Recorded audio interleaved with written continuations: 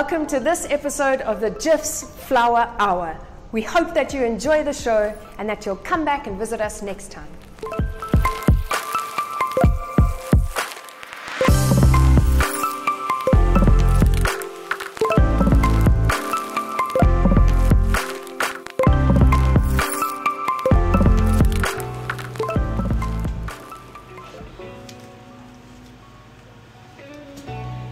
Bonjour Johannesburg.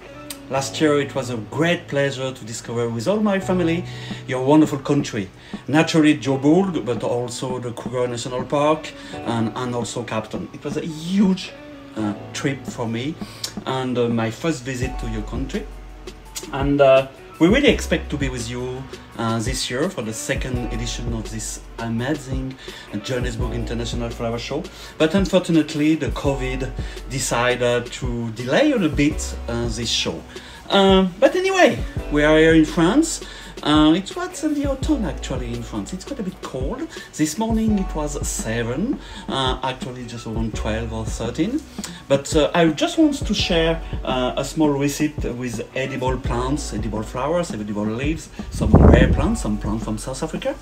And uh, I just want to bring you on my world, on my home and on my cuisine. So follow me for this little recipe. And you will see, it's absolutely incredible.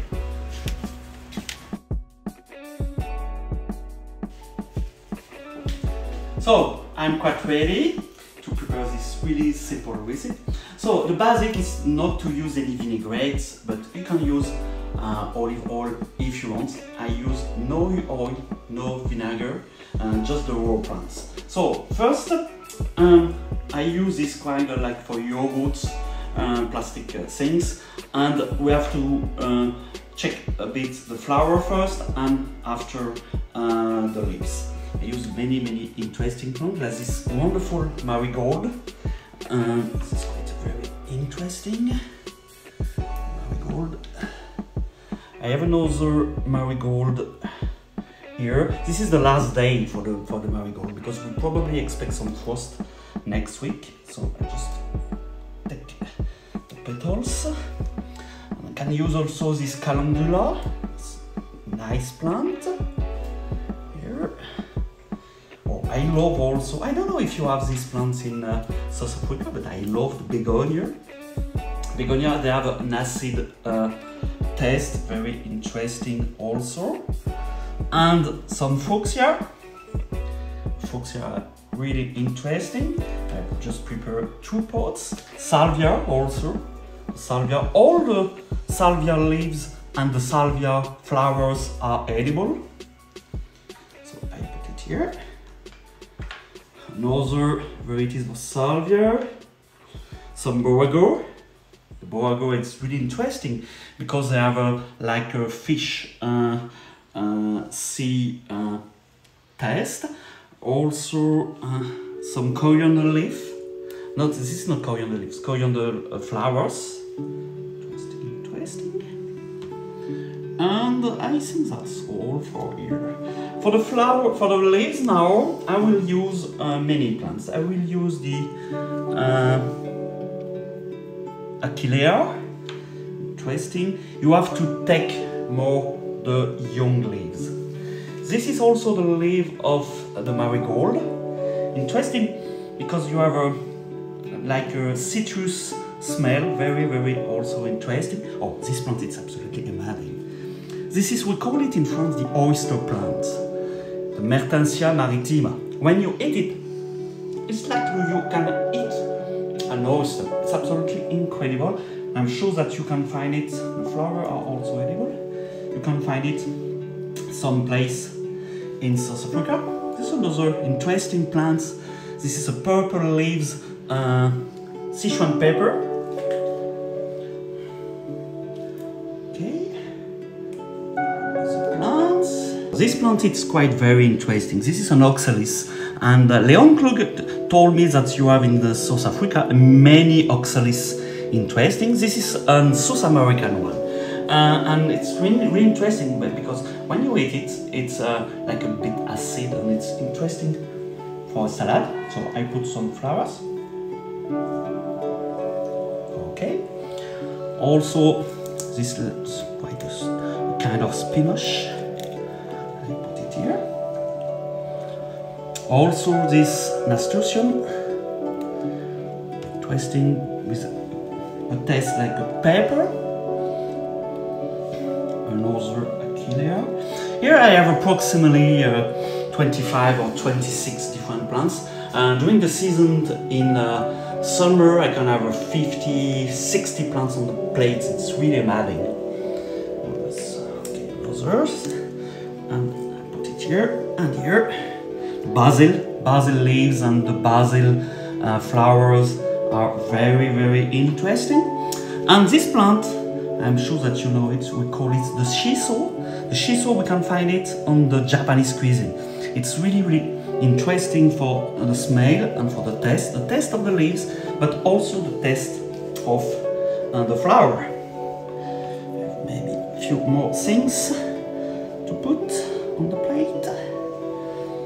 Oh, you something very important you have to take care. All the plants are not edible, so you have to be sure before to put it on the dishes to be sure that the plants you can eat the plants. We have we had some problems in France sometimes that people try to eat many plants, but they are not really edible. So you have to take care. Okay. So I think we are maybe some coriander leaves. They're really fresh here, and I will finish with one of your best plants. This is the pelargonium. Oh, this is a small leaves pelargonium. The pelargonium are interesting, the small leaves, but also the flower. So, uh, all the pelargoniums are edibles. You can just take the young shoots and the leaves and the flowers. Okay. So, now we are quite ready. Just one more. Okay. So, you need to have a plate. Find a, a nice plate. And if you want, if you this is the first time with edible plants, edible flowers, you can put some olive oils. I do not use that. I will use uh, like a tomato cream. It's like a tomato, um, but like a syrup. I just prepare it, it's a bit long, but I just prepare it before uh, filming. But if you have no this tomato cream, you can also use ketchup or whatever you want. No mayonnaise, no mayonnaise. So just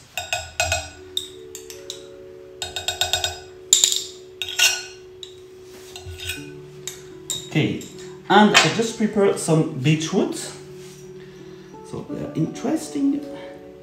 Also, they are a bit sweet. And you have to put it on the plate.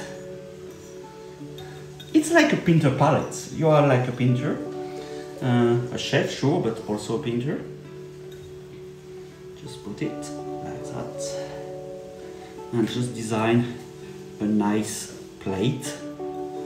Naturally, this is just for you, but if you have some guests, you can put many things and other plates. Just put some salt, uh, with, for, for example, with sesame here. It's flower salt. Again, if you do not want to use the salt, it's not a problem. Okay, now just put your small cup and you put it like that. Just to arrange a bit.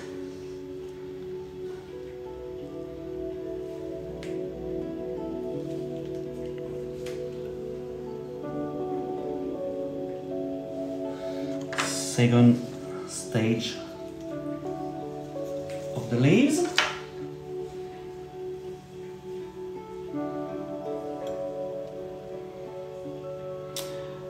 When you know a bit more about the plants, you can yeah, have one color plates or two color plates. It's really amazing if it's just green or purple or red. And then the flower. And all the plants, all the flowers have different taste. So you will, when you eat, you have to mix everything and you will have a, huge uh, taste on your mouth. Okay, and the last one is like for a floral kaleidoscope. Okay, so just finish now.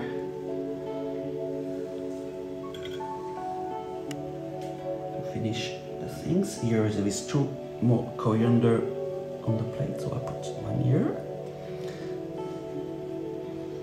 And also one here. So it's quite ready. If you want, you can put just a small uh, coffee spoon of olive oil, but you can eat raw like that. You will have the perfume, for example, of the marigold with the the uh, the taste of begonia and so on, and it will be a huge symphony in your mouth. So I really hope next year to can show you this kind of thing live for the second edition of the Johannesburg International Flower Show. Before that, take care, enjoy the life, enjoy the garden, and see you soon on your wonderful country. Bye bye, au revoir.